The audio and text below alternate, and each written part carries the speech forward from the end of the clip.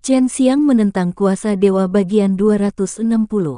Sen Xiang merasa bahwa dia telah membayar lebih sedikit kristal spiritual, dan bisa berteleportasi ke sini sudah tidak buruk, namun, orang-orang kaya yang memasuki susunan transmisi bersamanya tidak berpikir demikian, mereka berharap dapat kembali ke Clear Lake Immortal Palace sekarang dan memarahi orang yang bertanggung jawab atas teleportasi. Lagi pula, Tempat ini dekat dengan negeri segudang dan abadi, jadi meskipun ada binatang buas yang kuat, mereka tidak akan berani muncul di sini.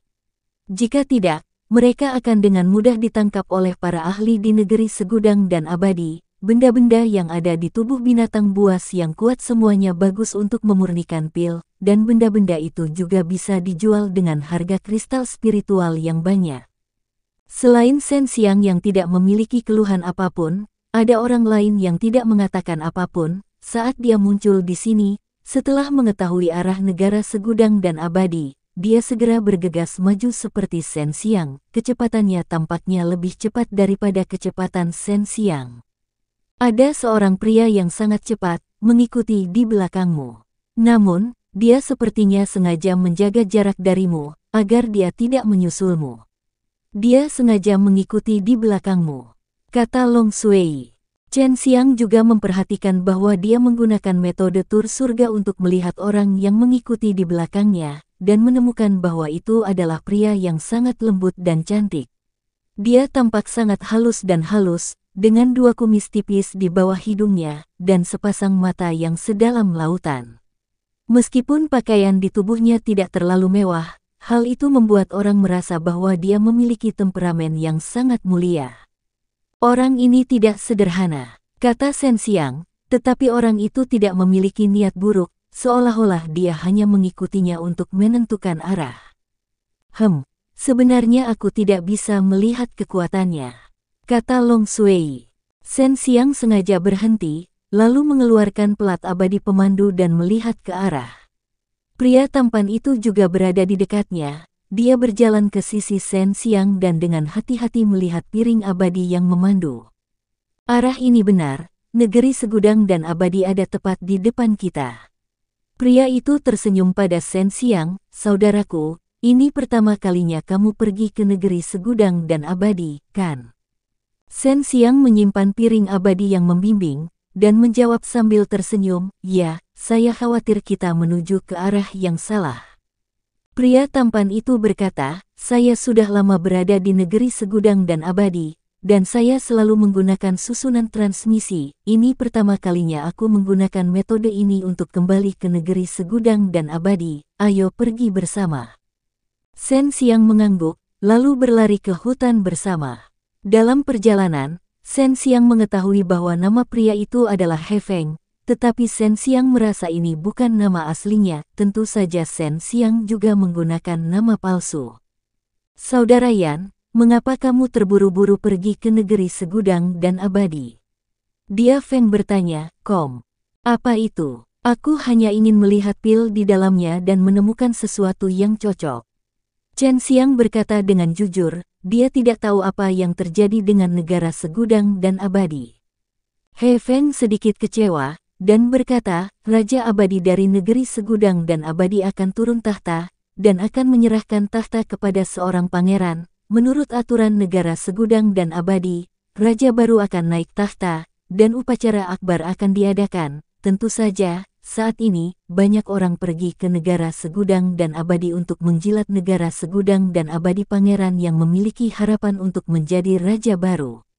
Mata Sen yang berbinar, dan bertanya, negara segudang dan abadi adalah kekuatan pil yang hebat, saya ingin tahu apakah mereka akan mengadakan kompetisi pemurnian pil. Inilah yang dinanti-nantikan oleh Sen Siang, tetapi tidak mudah untuk mendapatkannya, dan dia bahkan mungkin harus mengekspos dirinya sendiri ketika saatnya tiba, namun, jika itu adalah ramuan obat yang sangat berharga, dia pasti akan berusaha sekuat tenaga. Tentu saja ada. Saudara Yan, kamu sebenarnya ah, ahli alkimia. Saya benar-benar tidak bisa melihatnya. He Feng sedikit terkejut, karena dia tidak merasakan aura apa pun dari tubuh Sen Xiang. Sebelumnya, dia berpikir bahwa Sen Xiang adalah murid dari sekte terkenal, tetapi melihat bahwa Sen Siang tidak tahu tentang masalah negara segudang dan abadi, dia tidak terlalu melihatnya. Sen Siang tertawa, saya telah belajar sedikit, ketika saatnya tiba, saya hanya ingin ikut bersenang-senang. Bagaimana dengan Anda, Saudara He? Anda pergi ke negeri segudang dan abadi hanya untuk itu. He Feng menggelengkan kepalanya, saya dari negeri segudang dan abadi, dan kali ini, saya dipanggil kembali oleh seorang pangeran telah memanggil saya kembali untuk mengumpulkan kekuatan saya guna memperjuangkan tahta. Pada saat itu, pasti akan ada pertempuran rahasia dan banyak orang yang tersebar di sembilan langit bergegas menuju negeri segudang dan abadi. Sebelum saya datang ke sini, saya sudah menanyakan tentang negeri segudang dan abadi, dan tidak ada yang menyebutkan hal ini kepada saya. Sen Siang mengerutkan kening, dia memang bertanya dengan sangat hati-hati. Sepertinya saudara Yan adalah seorang kultivator nakal. Hanya sedikit kekuatan besar yang mengetahui hal ini. He Feng tiba-tiba tercerahkan, tetapi hatinya masih terkejut, karena di matanya, Sen Xiang juga seorang ranker yang tak terduga. Saat ini, ada tujuh pangeran di negeri Segudang dan Abadi yang semuanya adalah Raja Abadi, jadi yang paling memiliki harapan adalah tujuh pangeran ini. Di antara mereka, pangeran keenam berada di tahap tengah tahap Raja Abadi, dan adalah yang terkuat oleh karena itu, jika enam pangeran lainnya menghadapinya, mereka pasti akan merasakan banyak tekanan. Kata He Feng. Sen Xiang tidak pernah berpikir bahwa bagian dalam negeri segudang dan abadi akan begitu rumit, tetapi dia segera memikirkan sesuatu dan berkata, jadi maksudmu, enam pangeran lainnya mungkin akan bergandengan tangan untuk menangani pangeran keenam, dan Raja Segudang dan Abadi yang asli tidak peduli. Raja Segudang dan Abadi tidak akan menunjuk seorang penerus. Selama sudah waktunya baginya untuk menunjuk seorang penerus, dia akan meninggalkan negeri Segudang dan Abadi dan pergi ke suatu tempat untuk bercocok tanam dalam pengasingan. Dia Feng menghela nafas. Kalau begitu, Saudara Hei, kamu termasuk pangeran yang mana? Sen Xiang bertanya lagi, dia sudah merasakan bahwa He Feng ingin mengikatnya. Pangeran keenam, He Feng berkata, dia sudah tahu bahwa Sen Xiang adalah orang yang pintar, dia benar-benar ingin mengikatnya. Aku ingin tahu apakah saudara Yan ingin mengikuti pangeran keenam, tanya He Feng. Saya tidak mau. Saya terbiasa bebas dan tidak terkekang. Saya tidak ingin ikut serta dalam perselisihan seperti ini. Sen Xiang segera menolaknya, sebelumnya, ketika dia berada di Ditian, dia selalu berada dalam perselisihan seperti ini, tetapi sekarang, jarang dia begitu bebas dan tidak terkekang. He Feng menghela nafas ringan, lalu menyerahkan tablet giok kepada Sen Xiang dan berkata, jika Anda punya ide, ambil tablet giok ini dan pergi ke wilayah Pangeran Keenam untuk menemukan saya, anda dapat dengan mudah menemukan saya pertarungan memperebutkan tahta tidak akan berakhir begitu cepat, sebaiknya kamu berhati-hati terhadap pangeran pertama saat kamu pergi ke negeri segudang dan abadi. Orang ini adalah yang paling jahat dan kejam, dia akan menggunakan segala cara untuk mengikat beberapa orang agar bergabung dengannya. Setelah Sen Siang menerima tablet giok, He Feng tiba-tiba meningkatkan kecepatannya dan menghilang dalam sekejap mata, menyebabkan Sen Xiang diam-diam berseru kaget. Kekuatan He Feng ini jauh lebih kuat dari yang dia bayangkan. Aku yakin dia setidaknya berada di level Raja Abadi. Lumayan kalau Pangeran keenam memiliki orang yang begitu kuat di bawahnya. Aku ingin tahu siapa Pangeran keenam itu. Saat itu, aku juga mengenal beberapa orang berpengaruh, di negeri segudang dan abadi, kata Sumi Yao. Siapa yang peduli, aku akan masuk untuk mendapatkan kristal spiritual, aku tidak ingin terlibat dalam omong kosong semacam ini. Sen Siang menyimpan tablet giok itu. Situasi di negeri segudang dan abadi saat ini sangat tegang, dia merasa bahwa dia harus dapat menemukan peluang untuk menghasilkan banyak uang. Oh benar, Aku ingat Raja Abadi dari negeri Segudang dan Abadi saat itu bermarga He, Sumi Yao tiba-tiba berkata. Setelah berjalan keluar dari hutan, Sen Siang berdiri di tempat yang tinggi dan melihat ke kejauhan, dia hanya bisa melihat bayangan buram dari beberapa istana abadi yang besar, meskipun dia bisa melihatnya, bayangan itu sangat kabur, dan jaraknya masih sangat jauh. Ini hanya beberapa di luar, ada lebih dari seratus istana abadi di seluruh negara segudang dan abadi. Gumam Sensiang, ini adalah kekuatan negara abadi, untuk dapat mengendalikan begitu banyak istana abadi yang besar, dan ada banyak kekuatan seperti itu di negara abadi. Alam surga Negara segudang dan abadi ini seharusnya dianggap cukup kuat, sebanding dengan kekuatan seperti istana ilahi penekan iblis dan istana ilahi api. Namun, Negara ini dianggap sebagai negara abadi yang relatif netral dan jarang bertarung dengan negara lain. Kata Sumeyao. Sen Siang datang ke istana abadi terdekat, yang sedikit lebih kecil dari istana abadi Banteng Surgawi, tapi dia tidak berencana untuk tinggal di sini, dia ingin pergi ke istana utama, yang merupakan pusat kekuasaan negara segudang dan abadi, dan dikatakan bahwa istana abadi setara dengan domain surgawi dari istana abadi lainnya. Dia baru saja memasuki istana abadi dan berjalan-jalan sebentar sebelum pergi. Awalnya, dia ingin menggunakan susunan transmisi, tetapi dia tidak memiliki kristal spiritual yang tersisa. Dia hanya punya sedikit yang tersisa, mungkin cukup untuk tinggal di sebuah kamar atau semacamnya. Ini adalah pertama kalinya dia begitu miskin. Saat pembuluh darah nagaku berevolusi menjadi kristal spiritual, aku akan menjadi orang terkaya di sembilan surga. Sen Xiang berpikir dalam hatinya sambil menghibur dirinya sendiri. Chen Xiang menggunakan tiga hari, dan menggunakan kecepatan tercepatnya untuk bergegas ke istana utama kelompok istana segudang dan abadi. Tembok di sini tidak terlalu tinggi, dan sedikit lebih pendek dari tembok setinggi 30.000 zang di istana abadi Banteng Surgawi. Apalagi tembok tinggi di sini terlihat seperti terbuat dari kayu, dan bertekstur kayu, berdiri di bawah tembok yang menjulang tinggi ini, Chen Xiang segera merasa bahwa dia sangat kecil. Istana abadi raksasa semacam ini, bahkan Raja Abadi akan kesulitan untuk menghancurkannya. Sepuluh ribu kristal spiritual, salah satu penjaga melihat bahwa Sen Xiang tidak mengetahui aturan, dan ingin membuat janji dengan pintu tanpa memberikan kristal spiritual, dan segera menghentikannya. Sen Xiang tidak memiliki kristal spiritual apa pun sekarang, tetapi itu tidak berarti dia miskin, jika dia membuang salah satu obat tingkat suci tingkat abadi yang dia miliki, itu akan menimbulkan keributan. Ini, Sen Xiang mengeluarkan tablet giok dari harta sihir penyimpanan dengan susah payah. Ini diberikan kepadanya oleh He Feng sebelumnya. Melihat tablet giok ini, penjaga itu segera merasa sangat menghormatinya dan buru-buru menyingkir untuk membiarkannya masuk. Sen Siang diam-diam senang, dan kemudian melangkah masuk.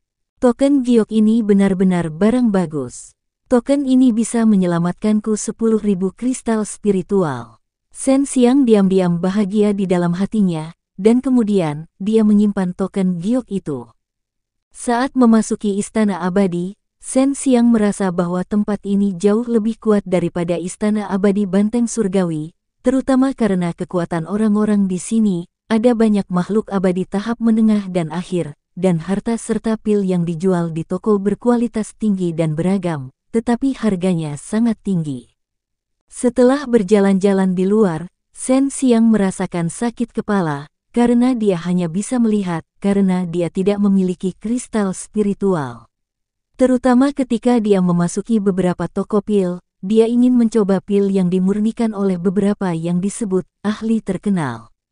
Bajingan kecil, kamu menjadi sasaran. Saat Sen Siang keluar dari toko pil, kata Long Sui. Saya tidak menyinggung siapa pun. Sen Siang baru memasuki istana abadi selama empat jam, dan bahkan belum berbicara sepatah kata pun kepada siapa pun, namun dia telah menjadi sasaran. Long Sui berkata, menurutku juga begitu, tapi aku mengenali penampilan pria itu. Dia menyembunyikan dirinya dengan sangat baik sebelumnya, dan aku bahkan tidak menyadari bahwa dia mengikuti kita sepanjang jalan dari pintu. Saya mengerti, mungkin karena saya menggunakan tablet giok itu. Sepertinya saya harus mengubah penampilan saya. Saya perlu mengubah penampilan saya. Sen Siang terus berjalan-jalan, tetapi dia memiliki tujuan berjalan-jalan, dan itu adalah untuk menyingkirkan orang-orang yang mengikutinya. Tidak lama kemudian, Sen Siang berubah menjadi pria paruh baya dan berjalan melewati orang yang mengikutinya, dia mencibir dalam hatinya, terus ikuti ilusi yang diciptakan oleh naga nakal kecil. Long Sui tertawa lembut, mari kita lihat berapa lama dia bisa mengikuti kita setelah sekitar satu bulan. Sen Siang melewati banyak penginapan dan hotel mewah, dia benar-benar ingin masuk dan bersenang-senang, tetapi dengan kristal spiritual di tangannya, dia bahkan tidak mampu untuk tinggal di penginapan paling biasa. Ayo naik ke tembok dan melihat pemandangan. Sen Siang hanya berjalan-jalan di sekitar lingkaran luar, di tengahnya adalah area istana, ada lebih banyak ahli di dekatnya, dan bahkan ada pertempuran rahasia yang sedang terjadi. Ada banyak orang di atas tembok tinggi. Saat ini, Langit cerah dan tembok tinggi tidak tertutup awan, mereka bisa mengabaikan istana utama di bawah. Namun, mereka hanya dapat melihat sebagian kecil saja. Di luar itu, semuanya kabur. Namun, mereka masih bisa melihat banyak gedung-gedung tinggi dan megah. Ledakan. Di langit biru, suara gemuruh yang keras terdengar, mengejutkan orang-orang di dalam serangan utama, mereka semua mengangkat kepala untuk melihat ke langit, hanya untuk melihat sebuah pintu besar muncul di langit. Itu gerbang naga, klan naga kekaisaran ada di sini, kata Long Sui. Pintu emas ini diukir dengan segala jenis naga. Setelah pintu terbuka, auman naga keluar, menyelimuti seluruh langit, itu sangat menakutkan, seolah-olah seekor naga besar akan turun. Ini adalah artefak suci teleportasi dari klan naga kekaisaran. Namanya Gerbang Naga, dan dapat berteleportasi ke mana saja di sembilan langit. Long Sui menjelaskan. Cahaya keemasan keluar dari gerbang naga, dan kemudian gerbang naga menghilang, hanya menyisakan kabut emas yang berputar di langit. Di bawah tembok tinggi, lebih dari sepuluh orang berjubah emas muncul, mereka pasti kaisar naga yang baru saja keluar dari gerbang naga. Ada dua naga suci, sisanya adalah naga api dan sejenisnya, tetapi mereka semua memiliki aura kaisar naga yang kuat.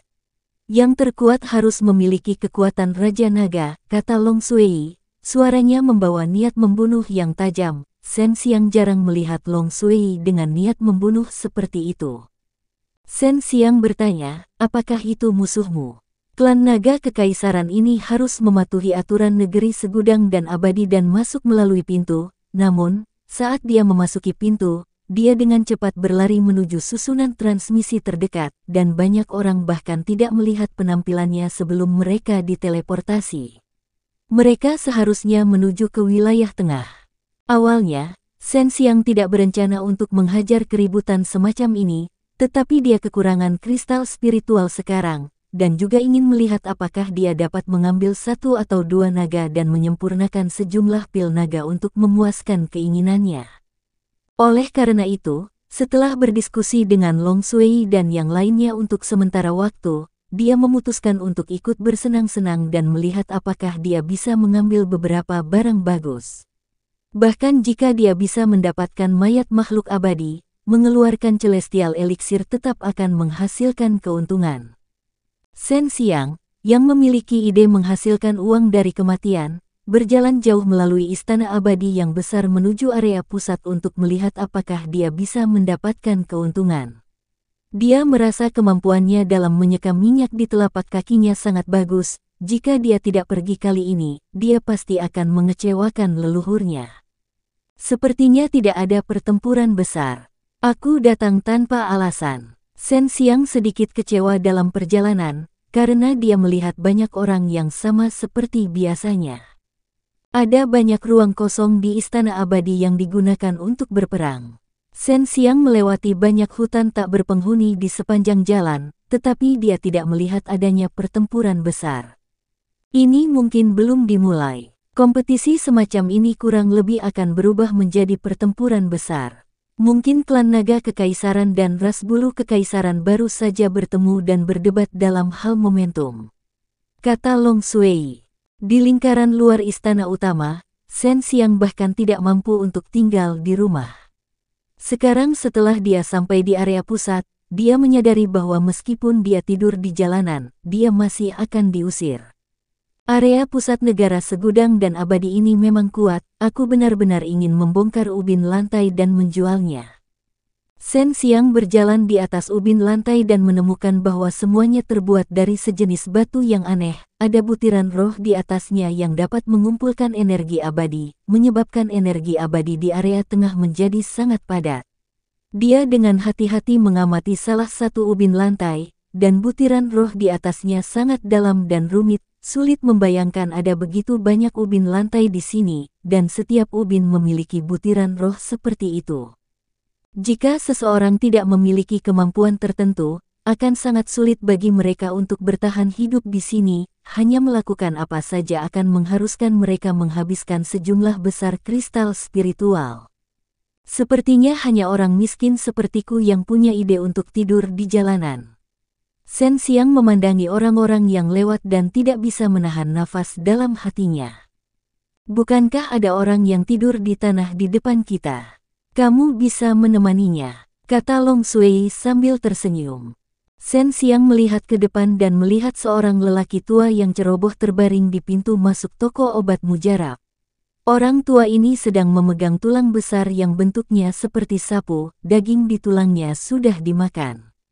Orang seperti itu, di area pusat yang mempesona ini, sungguh mempesona. Beberapa orang yang lewat sedikit mengernyit, tapi anehnya, dia tidak diusir. Sen Siang berjalan mendekat, ingin melihat dewa macam apa ini, tidur di tempat seperti itu seperti tidur di rumahnya sendiri, tanpa sedikit pun kesopanan. Dia berjalan mendekat dan melihat lebih dekat. Segera, dia tercengang. Kemudian, dia melihat lebih dekat, dan sepertinya dia tersambar petir. Ini, Tuan. Sen Siang berteriak beberapa kali di dalam hatinya. Orang tua ini sebenarnya adalah gurunya, Wong Kamtin. Ternyata orang tua gila ini. Aku bahkan tidak menyadarinya. Long Sui juga sangat terkejut. Wong Kamtin mendapati seorang pria paruh baya sedang menatapnya dengan mata terbelalak. Dia segera mengangkat kepalanya dan berteriak, apa yang kamu lihat? Pernahkah kamu melihat orang lain tidur di jalanan? Apakah kamu berani tidur di jalanan? Apakah kamu tega tidur di jalanan seperti saya? Jika tidak, lalu cepat keluar dari sini, jangan menatapku dengan mata cemburu dan mengganggu tidurku. Petik 2. Sen Siang ingin menghampiri dan menendangnya dua kali, lalu melarikan diri secepat yang dia bisa. Awasi kakiku. Berpikir untuk melakukannya, dia benar-benar menghampiri dan menendang Wong Kamtin. Tendangannya sangat cepat, namun Wong Kam Tin juga mengelak dengan cepat dan tidak tersapu oleh tendangan terbang Sen Siang. Bajingan, seorang pria menggunakan mulutnya dan bukan tinjunya. Kamu sebenarnya tidak menggerakkan tanganmu, kamu langsung menggerakkan kakimu. Wong Kam Tin segera menjadi marah, dan setelah dia selesai memarahi, dia menyadari bahwa Sen Siang telah menghilang. Sen Siang sudah seperti kelinci, berlari menyelamatkan hidupnya di jalanan, dia sangat menyadari amarah orang tua gila ini, jika dia tertangkap olehnya, dia pasti akan dipukuli di jalan. Kamu tidak akan bisa melarikan diri. Wong Kamtin tidak menyadari bahwa orang ini adalah Sen Siang, dia hanya merasa orang ini sangat bosan, benar-benar datang dan memprovokasi dia yang sedang tidur di jalan. Yang membuatnya semakin marah adalah orang ini berlari sangat cepat. Barusan, Sekelompok orang masih memperhatikan kedua orang aneh ini. Salah satunya adalah seorang lelaki tua berkulit tebal yang sedang tidur di jalanan, sedangkan yang lainnya sedang bosan. Dia memperhatikan lelaki tua ini dari jarak dekat dan bahkan menendangnya. Awalnya, semua orang mengira akan ada adegan perkelahian para huligan di jalan, namun siapa sangka kecepatan Sen Siang yang seperti kilat akan membuat banyak orang merasa malu dengan inferioritas mereka. Yang lebih mengejutkan lagi adalah lelaki tua yang tertidur di jalan itu sebenarnya juga sangat cepat. Memang ada harimau yang meringkuk dan naga tersembunyi di wilayah tengah negeri segudang dan abadi. Sepertinya aku harus memiliki kekuatan meskipun aku bosan, kalau tidak, kalau aku tertangkap, aku pasti akan dipukuli sampai mati. Sen Siang tidak bosan, dia hanya ingin memancing Wong Kam Tin ke tempat yang tidak ada orangnya. Itulah sebabnya dia menggunakan metode ini, tentu saja, dia dapat mengirimkan transmisi suara, tetapi dia khawatir setelah Wong Kam Tin, orang tua gila ini, mengetahui bahwa itu adalah dia, dia akan memukulinya tanpa mengucapkan sepatah kata pun. Akhirnya, Sen Siang dengan putus asa berlari ke padang rumput yang jauh dari kerumunan, dan berteriak, Tuan, ini saya, saya Sen Siang. Apa? Bajingan kecil, kamu benar-benar berani memprovokasiku di jalan. Apakah kamu lelah hidup? Wong Kam Tin segera berteriak, dia meningkatkan kecepatannya, dan dalam sekejap, dia mengejar Sen Siang, lalu langsung menyapanya dengan tinjunya. Sen Siang segera menghindar, menghindari pukulan kacau itu. Ketika Wong Kam Tin mendengar bahwa Sen Siang ada di sini untuk menghasilkan banyak uang, matanya langsung berbinar. Ketika dia berada di Ditian, dia sudah tahu bahwa Sen Siang adalah seorang taipan yang memakan pil seolah-olah itu adalah nasi. Tuan, Anda telah berada di alam surga selama jangka waktu tertentu, Anda seharusnya melakukannya dengan baik. Bisakah Anda meminjamkan saya seribu atau sepuluh ribu kristal spiritual? Sen Siang menggosok tangannya dan berkata, saya membutuhkan kristal spiritual saat ini, saya kekurangan kristal spiritual. Wong Kam Tin berteriak, aku masih ingin meminjam padamu, jika saya mempunyai seribu atau sepuluh ribu kristal spiritual untuk dipinjamkan kepada Anda, apakah saya masih perlu tidur di jalanan? Jika Anda tidak memiliki kristal spiritual, mengapa Anda ada di sini? Petik 2. Saya di sini untuk menghasilkan banyak uang. Sen Siang sangat kecewa. Jika kamu menjual beberapa pil atau sesuatu, kristal spiritual akan datang. Apakah kamu miskin? Wong Kam Tin menyilangkan dadanya dan berkata, berapa banyak kristal spiritual yang tersisa? Masih ada 3000 yang seperti ini kan? Kata Sen Siang. Itu saja. Itu bahkan tidak cukup untuk mengisi celah di antara gigiku. Gumam Wong Kam Tin, lalu berteriak, pinjamkan aku 2000, aku membutuhkannya segera. Petik 2. Setelah Sen Siang menawar dengannya untuk sementara waktu, dia hanya memberinya 1500 kristal spiritual, jadi dia harus menyimpannya. Terlebih lagi, ia tidak menyangka Wong Kam Tin akan begitu miskin. Tuan, klan naga kekaisaran ada di sini. Apakah Anda ingin saya meminjamkan Anda pembunuh iblis naga hijau? Sen Siang terkekeh, jika saatnya tiba, berikan saja mutiara naga di tubuh mereka. Wong Kam Tin memelototinya, mengerutkan bibirnya dan berkata, pinjamkan aku pembunuh iblis naga hijau, menurutmu apakah hidupku terlalu panjang? Menggunakan pembunuh iblis naga hijau di alam surga sama saja dengan mendekati kematian. Meskipun aku pernah hidup selama bertahun-tahun, saya belum bosan hidup. Begitu orang-orang Yaotian dan Motian mengetahuinya, mereka pasti akan datang untuk mengambilnya. Klan naga kekaisaran dan istana abadi pedang ilahi juga berpikir bahwa pedang ini milik mereka, jadi mereka pasti akan berpartisipasi, kekuatan besar lainnya juga akan memancing di perairan yang bermasalah untuk menghadapinya. Kamu tidak bisa menggunakan pedang ini. Kecuali kamu tidak punya pilihan lain, jangan mengekspos dirimu sendiri. Alam surga tidak seperti di Tian. Saat ini, banyak orang tidak tahu bahwa kamu sudah naik, sebaiknya kau di sini saja untuk sementara waktu, kata Wong Kam Tin. Sen Siang mengangguk dan berkata, Tuan, mengapa saya tidak pergi bersamamu untuk membunuh naga itu? Saya hanya ingin bola naga, dan Anda bisa makan daging naga. Wong Kam Tin sangat suka makan daging, saat itu, di bawah lubang langit di alam super bela diri super, dia sering memanggang daging untuk dimakan. Tidak, terlalu berbahaya untuk pergi bersamamu. Kamu akan membuatku terbunuh. Jika kamu ketahuan, aku akan mendapat masalah. Wong Kam Tin menolak. Tuan, kamu terlalu tidak berperasaan, aku baru saja memberimu 1500 kristal spiritual, kata Sen Siang dengan cepat. Jika kamu ingin membunuh naga, pergilah sendiri. Apa menurutmu aku tidak tahu bahwa bola naga lebih berharga daripada tubuh naga? Kamu ingin memanfaatkanku, jadi ayo bunuh bola kita sendiri. Setelah Wong Kam Tin selesai berbicara, dia berbalik dan pergi. Sen Siang masih ingin menanyakan beberapa pertanyaan lagi, tapi dia tidak mengejarnya. Saya pikir saya akan mendapat manfaat dari bertemu guru, bukan saja saya tidak mendapatkan apa-apa, saya bahkan membiarkan dia mengambil 1500 kristal spiritual. Sen Siang menghela nafas, lalu berjalan menuju pusat area yang ramai. Bagaimana jika dia membunuh naga itu? Itu juga akan membuat marah klan naga kekaisaran, dan pada saat itu, kita tidak akan punya inti naga untuk dimakan. Long Sui berkata dengan cemas. Tuanku orang gila, dia tidak perlu kita mengkhawatirkannya sama sekali. Namun, dengan kekuatanku saat ini, Aku tidak bisa bergerak secepat mungkin, aku harus mencari tahu kekuatan Kaisar Naga itu terlebih dahulu. Kata Sen Siang, dia baru saja naik ke alam surga, dan jika dia bertarung melawan naga-naga itu, dia tidak akan berani bertindak gegabah tanpa mengetahui latar belakang pihak lain. Tuanmu juga sangat kuat, aku bahkan tidak sadar kalau itu dia. Dia mengolah kungfu penekan naga taiji, jadi pasti ada banyak perubahan. Mungkin dia bahkan memodifikasinya sendiri, kata Long Sui.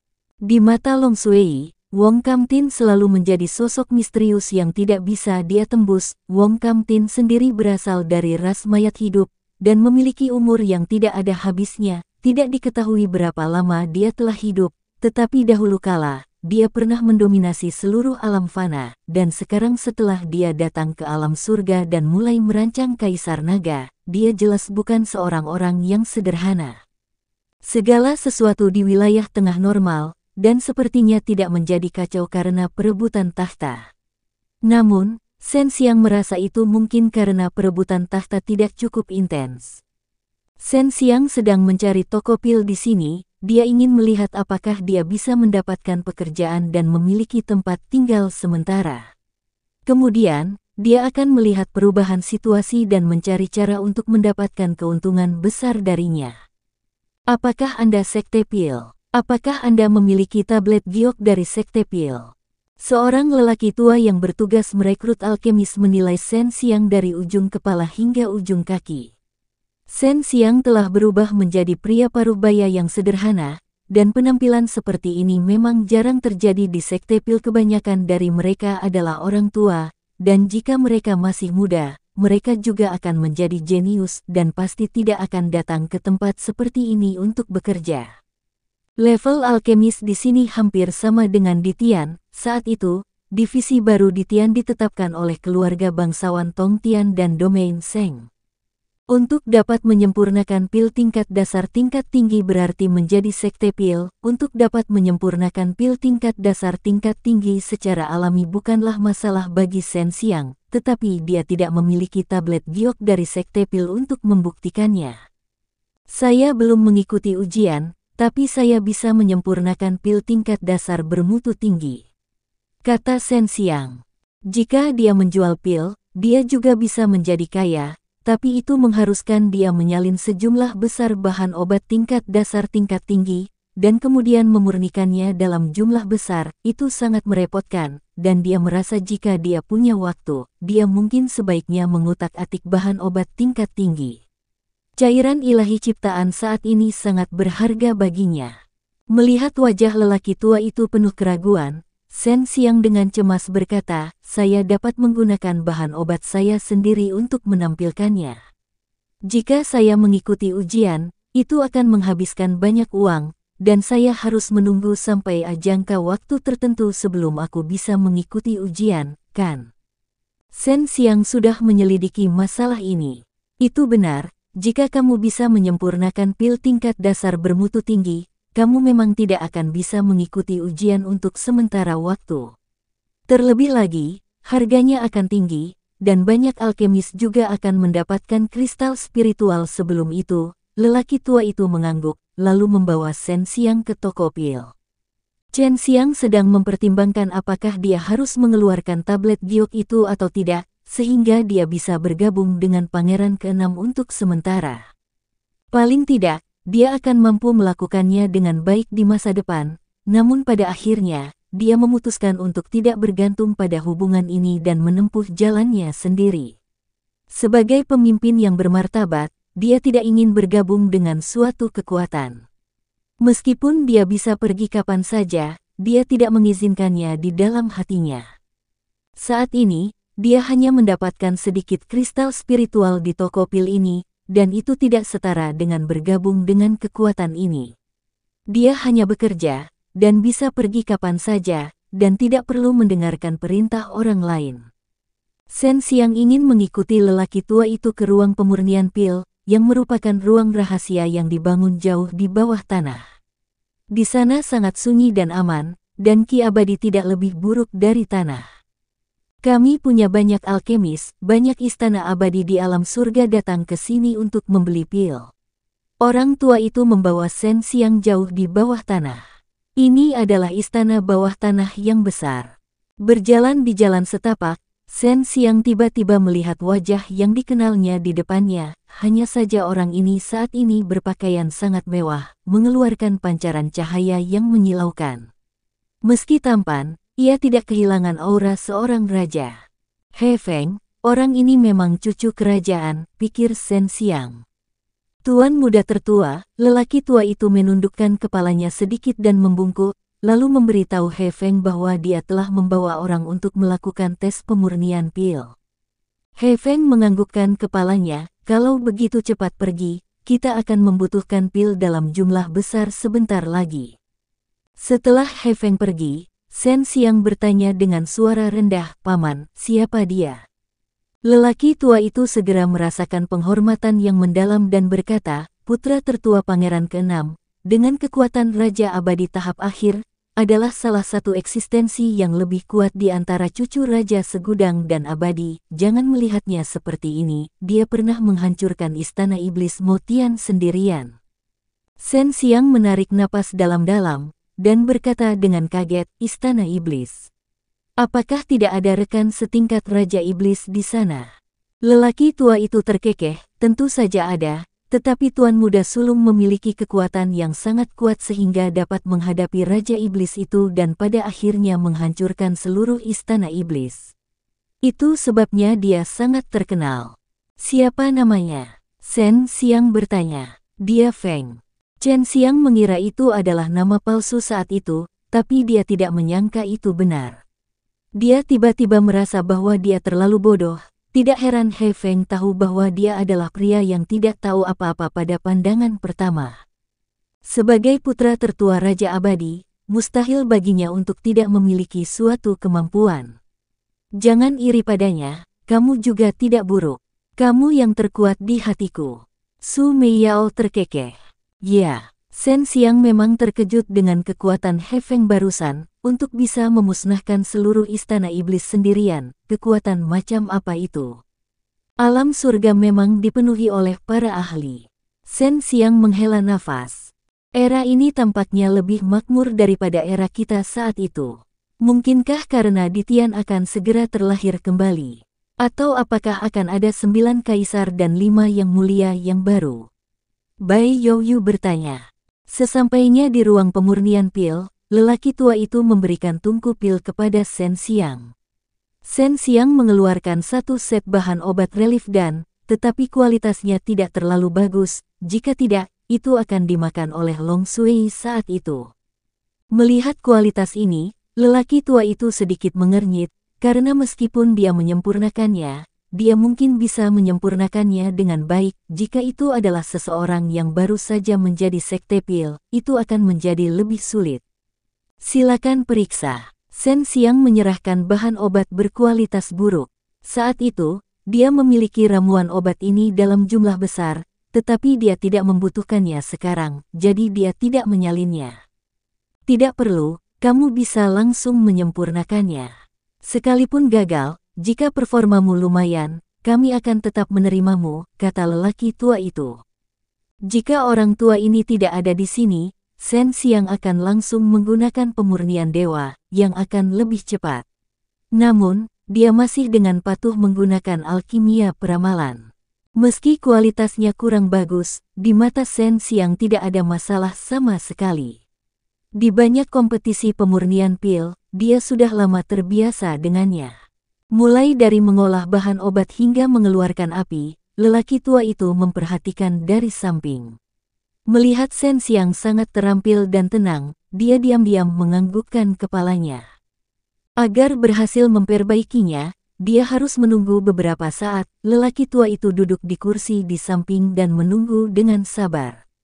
Awalnya, dia berpikir bahwa dia harus menunggu lama, tetapi dia tidak berharap Sen Siang menyelesaikan penyempurnaannya hanya dalam waktu satu jam. Saya sudah selesai menyempurnakannya. Senior, silakan lihat. Sen Siang berdiri dan membuka tutup tungku pil. Dua pil. Orang tua itu dengan cemas berjalan mendekat untuk melihat dan berkata dengan kaget. Bagaimana kamu memperbaikinya? Begitulah caraku menyempurnakannya. Nyalakan apinya lalu gunakan alkimia peramalan. Sen Siang berkata dengan sangat sederhana. Lelaki tua itu mengukur Chen Siang lagi. Dia tidak pernah berpikir bahwa sebenarnya akan ada bakat seperti itu. Menggunakan bahan obat berkualitas buruk, dia mampu memurnikan dua relief dan dengan kecepatan yang sangat cepat. Selain itu, kualitasnya sangat bagus. Sen Siang telah menyembunyikan banyak hal, jika tidak, itu akan lebih mengejutkan. Siapa namamu? Lelaki tua itu bertanya.